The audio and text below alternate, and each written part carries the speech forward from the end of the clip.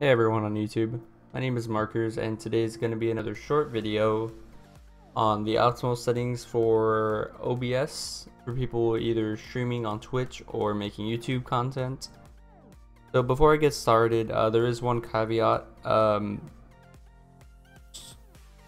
video recording is a CPU heavy process. Depending on your CPU, you might need to um, you know, turn tone things down a bit. Um, it's recommended you have at least an i5 to stream on Twitch. If you have the money, I recommend getting an i7 processor so that you're able to stream better, upload um, your videos faster, do stuff like that. It just makes things a lot easier. But with that uh, being said, let's go into the settings.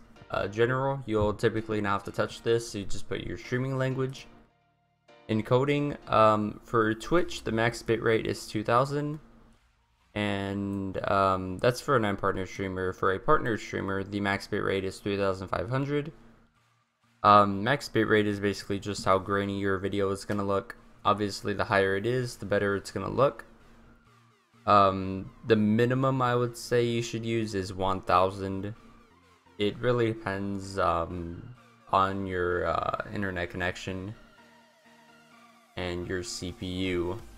For bitrate, um, the max on Twitch is 160, so put it on 160. Uh, for YouTube content, uh, put it on 320. Uh, this just makes your audio sound a lot more good, I guess. um, you know, that, and of course having a better microphone. so broadcast settings, um, if you're going to be live streaming, put on live stream. File output only is if you're recording a YouTube video. Uh, here you can put your streaming service.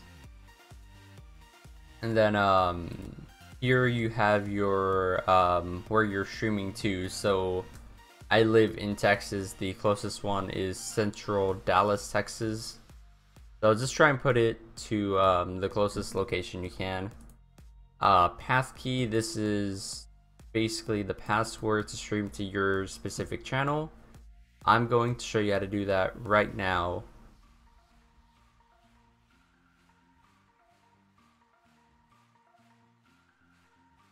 So say you're on the main Twitch page, you go to dashboard, you hit stream key, and then it's you click show key. It's going to tell you yeah, it's gonna give you a second warning. Uh, just you know, for in case you're streaming, so that you don't show you off your uh, stream key. It's gonna show you your stream key. You're gonna copy and paste it into the URL.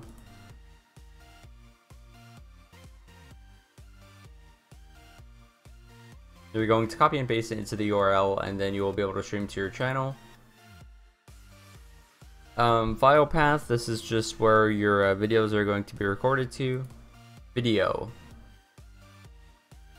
So just make sure it's, you know, uh, make sure the video adapter is on your graphics card. Um, I'm not sure whether or not it can be on integrated graphics, but if it is on integrated graphics, make sure it's not. Uh, base resolution for streaming, 720p is going to be... It's going to be good enough. This is basically...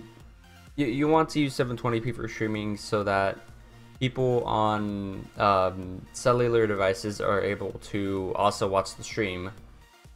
Uh, this is obviously so that you can grow a better viewer base because if someone's not able to watch a stream, they're not going to stay for long. They're not going to wait for it to buffer, so it's best to have something everybody can mutually watch at a, you know, at a decent rate, I guess.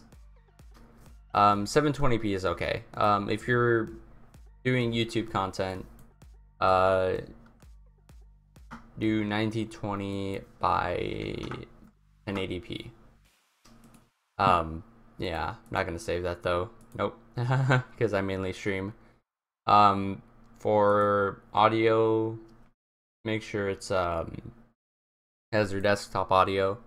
Uh, for the microphone, make sure it has the microphone you're using and not the webcam microphone um because i know for a while uh on streaming i actually did use my webcam microphone so just make sure it's on your um uh, your headset microphone or your dedicated microphone, assuming you have a dedicated microphone.